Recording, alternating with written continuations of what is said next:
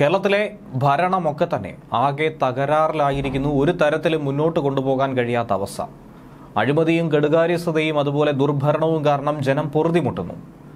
റോഡിലായാലും നാട്ടിലായാലും ഒക്കെ ജനങ്ങളെ കുഴിയിലിടുന്ന രീതിയിലേക്ക് വലിയ തോതിലുള്ള പണികൾ തന്നെയാണ് ഉണ്ടാക്കി വെച്ചിരിക്കുന്നത്. അതിനിടയിൽ അഴിമതിയെക്കുറിച്ചുള്ളതും സ്വജനപക്ഷപാതത്തെക്കുറിച്ചുള്ളതുമായിട്ടുള്ള വാർത്തകൾ നിരന്തരമാകുന്നു. അതുകൊണ്ട് സംസ്ഥാന ഭരണം പിരിച്ചുവിട്ട് രാഷ്ട്രപതി ഭരണം ഏർപ്പെടുത്തണമെന്ന ആവശ്യം ബി ജെ പി അടക്കമുള്ളവർ നേരത്തെ ഉന്നയിച്ച ഒരു വിഷയമാണ്. സമാനമായ ആവശ്യം വീണ്ടും ശക്തമാകാൻ ഒരുങ്ങുന്ന ഒരു സൂചനയാണ് ലഭിക്കുന്നത്. സി പി എമ്മിൽ തന്നെ തമ്മിലടി തുടങ്ങുമ്പോൾ സർക്കാരിന് എങ്ങനെ പിടിച്ചു നിൽക്കാൻ കഴിയുമെന്നുള്ളതാണ് ചോദ്യം. സി പി എമ്മിനുള്ളിൽ നേരത്തെ തന്നെ മുഖ്യമന്ത്രിക്കെതിരെയും അതുപോലെ മറ്റു മന്ത്രിമാർക്കെതിരെയുമുള്ള പലതരത്തിലുള്ള ആരോപണം ഉയർത്തിയിരുന്നു. മുഖ്യമന്ത്രിയുടെ ശൈലി അടക്കം മാറ്റണമെന്ന് ആവശ്യപ്പെട്ടിരുന്നു. എന്തിനേറെ പറയുന്നു സഖ്യകക്ഷികൾ പോലും സി പി എമ്മിനെ ശക്തമായി നഖശിഖാന്തം വിമർശിക്കുന്ന ഒരു സാഹചര്യത്തിലേക്ക് കടന്നു. സി പി എമ്മിന്റെ പോഷക സംഘടനയായ വിദ്യാർത്ഥി സംഘടനയായ എസ് എഫ് ഐ നടത്തുന്ന അരാജകത്വം അത് സംസ്ഥാനത്തുടനീളം ചർച്ചയായി മാറുന്നു. ഇതിനിടയിലാണ് പി എസ് സി അംഗത്വം വാഗ്ദാനം ചെയ്ത് സി പി എം നേതാവ് കോഴ വാങ്ങിയെന്ന ആരോപണം കൂടി ശക്തമാകുന്നത്.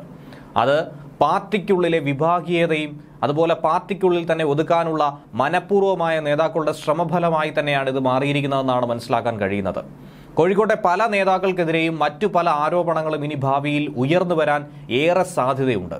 ഇതിനു മുൻപ് നടന്ന പലതരത്തിലുള്ള കൊള്ളരുതായ്മയും കള്ളക്കഥകളും കോഴവാങ്ങലുകളും ഒക്കെ നിലനിൽക്കുന്നു എന്ന് വേണം ഇതിലൂടെ കണ്ടറിയാൻ. ഇതിനെയൊക്കെ മുൻനിർത്തി തന്നെയാണ് ഇങ്ങനെ ഒരു നീക്കം. ഇത് ഒതുക്കി തീർക്കാനായിട്ടുള്ള ഒരു ശ്രമം നടത്തുന്നത്.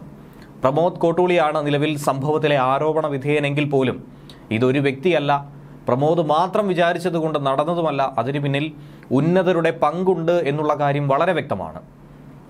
പ്രത്യേകിച്ചും ഒരു കേഡർ പാർട്ടി എന്ന നിലയിൽ സി പി എമ്മിനുള്ളിൽ നിന്നും ഒരു പ്രമുഖ നേതാവ് യുവ നേതാവ് ഇത്തരത്തിൽ കോഴ വാങ്ങാൻ അതും ഒന്നും രണ്ടും ലക്ഷമല്ല ഇരുപത്തിരണ്ട് ലക്ഷം രൂപ കൈപ്പറ്റുകയും ഇനിയും അര ലക്ഷത്തോളം രൂപ കൈപ്പറ്റാനായി ഇരിക്കുകയും ചെയ്യുന്ന സാഹചര്യത്തിൽ ഇതിനു പിന്നിൽ ഒരുപാട് വലിയ വ്യക്തികളുടെ കരങ്ങളുണ്ട് എന്നുള്ള കാര്യം മനസ്സിലാക്കാവുന്നതാണ്.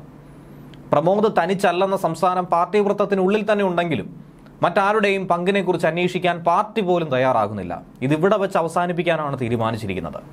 ആരോപണ വിധേയനായ പ്രമോദ് ആകട്ടെ കോഴിക്കോട്ടെ രണ്ട് പ്രധാന നേതാക്കളുടെ ഏറ്റവും അടുത്ത വ്യക്തിയും. പക്ഷേ അവരെക്കുറിച്ച് അന്വേഷിക്കാനോ അവരുടെ പേര് വിവരം പുറത്തുവിടാനോ പോലും തയ്യാറായിട്ടില്ല.